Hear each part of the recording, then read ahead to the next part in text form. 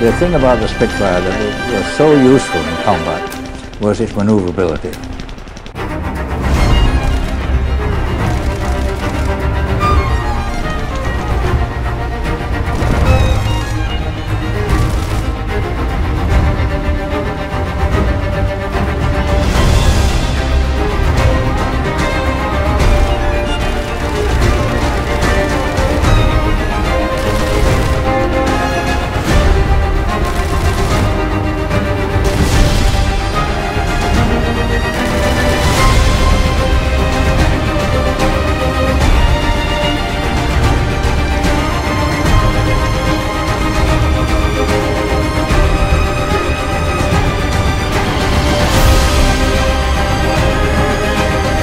If we hadn't had the Spitfire during 1940, uh, then I think it would have been very, very bad.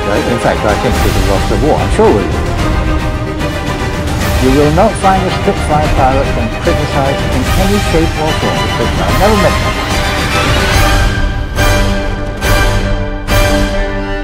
Uh, She really was the perfect flying machine.